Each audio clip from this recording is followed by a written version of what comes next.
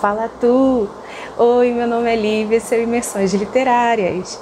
Eu tô em outro lugar aqui de casa, eu tive que descer para a sala daqui de casa, então você tá ouvindo o barulho do ventilador de teto, tudo que tá acontecendo lá fora, ainda tem o Caleb aqui embaixo da mesa que pode vir a fazer um barulho. Eu posso ter que ficar olhando para ele, então releva tudo isso, tá? A gente dá início nesse mês, é, na verdade dá início hoje, primeiro domingo do mês de, de março, ao Imersões Femininas. Ano passado a gente fez esse não é bem projetinho, mas vai, um projeto de leitura de no mês de março só ler livros cujas autoras fossem mulheres, em comemoração mesmo ao dia 8. Então hoje a gente começa o mês de março com uma autora mulher, uma autora de distopia, pelo menos neste caso, que eu não conhecia, tive o prazer de conhecer e uh, que me deixou com muitas pulgas atrás da orelha essa história dela. A gente vai falar sobre Calocaína hoje, da Karen Boy. Se você quiser saber o que eu achei desse livro, puxa teu banco, bora papear.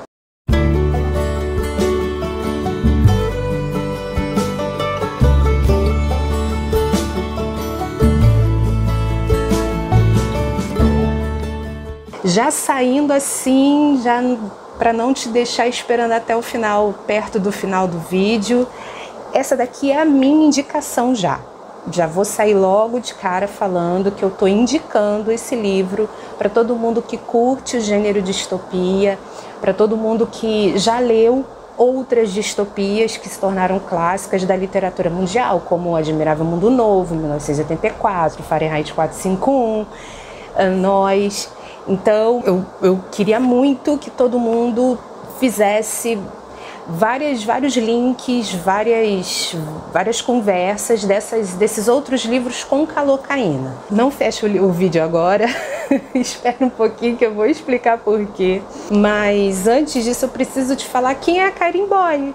Que na verdade esse livro Calocaína, esse título, já foi lançado no Brasil há coisa de tipo 50 anos. Mas durante muito tempo passou esgotado até que a editora Carambaia trouxesse nesse nessa coleção dela, né, que o, ISBN vem na frente. Essa versão aqui, se não me engano, essa edição é de 2019. É Calocaína foi lançada a primeira vez em 1940 por essa escritora Karin Boy, uma escritora sueca.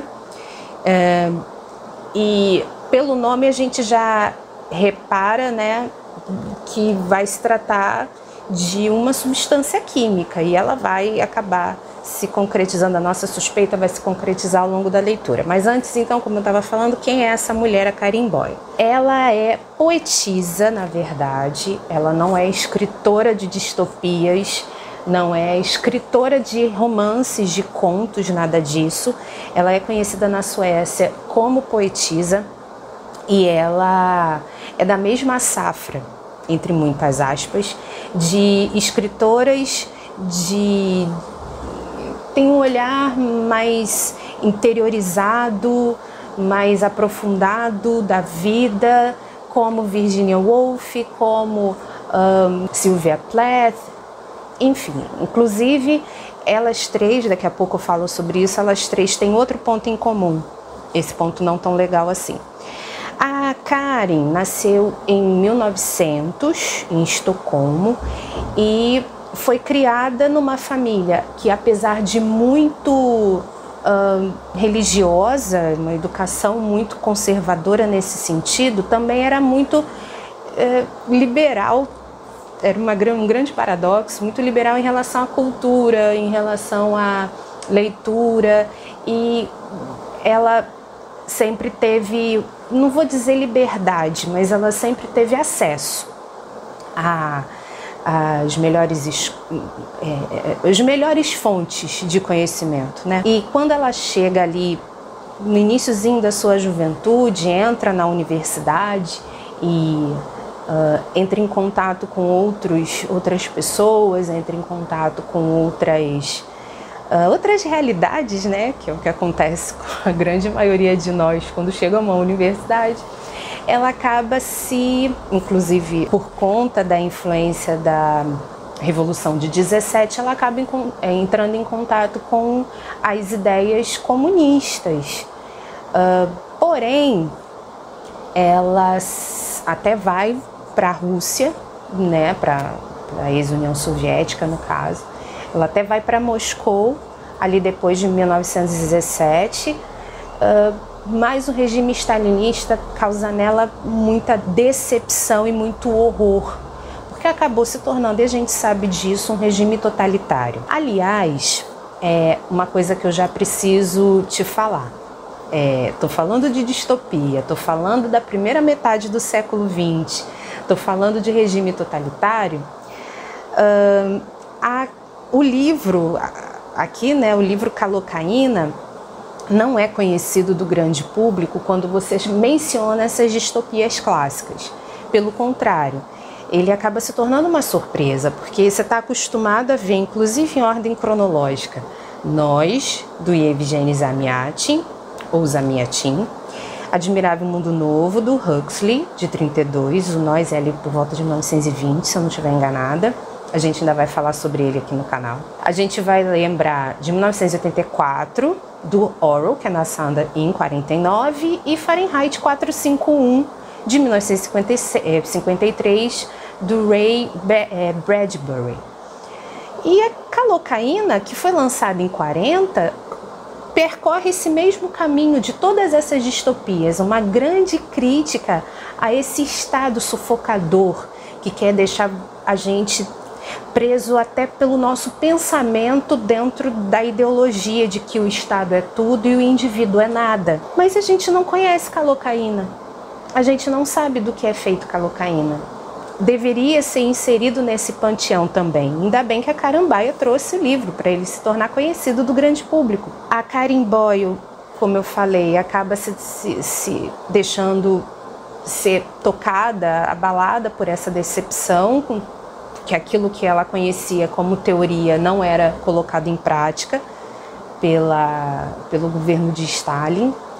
E ela acaba pendendo, não digo para o lado oposto, mas que é um movimento muito comum, inclusive desses outros autores, a crítica a essa decepção tamanha de uma utopia que de fato não se concretiza, e óbvio, né, por isso que é distopia, os leva para um outro lado, que é quase o extremo oposto. Ela acaba se tornando liberal, mas ela não vira uma liberaloide. Mas ela acaba, vamos dizer assim, se voltando para algumas ideias menos rígidas do, do regime.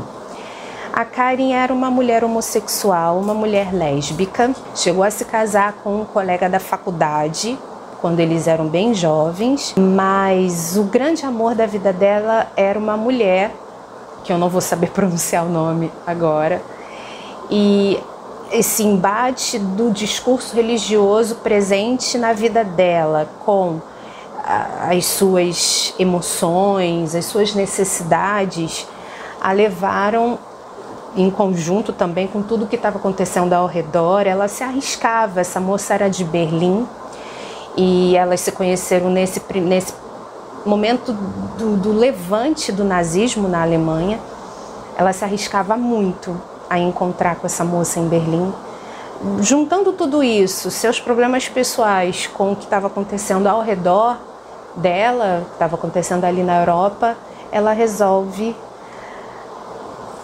Agora eu fico na dúvida se foi acidental ou se foi de caso pensado, mas ela resolve ingerir uma quantidade maior de barbitúricos e acaba falecendo por overdose. Dizem, né, que foi proposital, mas eu não, não sei.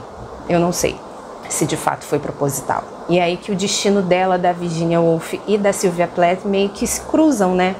Porque as outras duas também resolveram encerrar o período de vida antes do tempo na Terra. Pois bem, do que trata então calocaína? Você tem o Léo Cal, que é um químico que vive na cidade química número 4 do Estado Mundial, que é dessa forma que o Estado com letra maiúscula é chamado aqui no livro. Ele tem uma família, um filho mais velho, duas meninas e a esposa, a Linda. E ele tem muitas ambições. Ele se ele quer se tornar um cara muito conhecido dentro do Estado Mundial, mas a ideia dele não é para até porque não, não se vê lucro aqui, obviamente.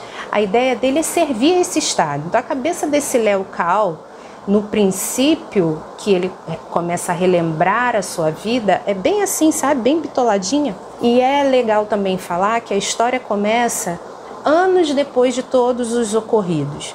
Ele está preso como se fosse uma espécie de campo de é, trabalhos forçados de outro estado, que a gente depois vai ver que invadiu o, o, o lugar dele né, de nascimento e porque o Estado Mundial vivia em constante guerra, isso te lembra alguma coisa? a Eurásia, tá, tá, sempre guerra com a Lestásia. Não, agora é a Lestásia que está em guerra com a Eurásia. Daí, o que, que vai acontecer? O Léo vai, nesse princípio que ele está contando a história dele, resolve escrever um livro de memórias contando a história dele, de como ele conseguiu encontrar a substância calocaína, que ele depois gostaria né, que fosse chamada pelo seu nome e acabou sendo assim, e o que a calocaína faria de bom para o Estado mundial. Uh, eu falei mais cedo que o Estado que o Estado quer controlar todas as nossas, todas as áreas das nossas vidas, inclusive o nosso pensamento. E é aí justamente que a calocaína vai agir ele vai criar essa substância química que, injetada nas pessoas, de preferência pessoas que seriam inimigos desse Estado, uh, pessoas que estivessem fazendo um complô para derrubar o regime, pudessem confessar os seus crimes sem qualquer tipo de tortura ou outro método de coerção. Então, a, a priori, seria uma espécie de soro da verdade, uma antecipação do soro da verdade, com esse com um fundamento de manter o Estado sempre forte, por cima de todo mundo, apto a. Uh, como é que eu posso falar? Apto a corrigir o pensamento desviante de qualquer pessoa. Essa menina, essa moça com quem ele se casa e depois tem filhos, a Linda, depois a gente vai perceber que ela tem ideias diferentes.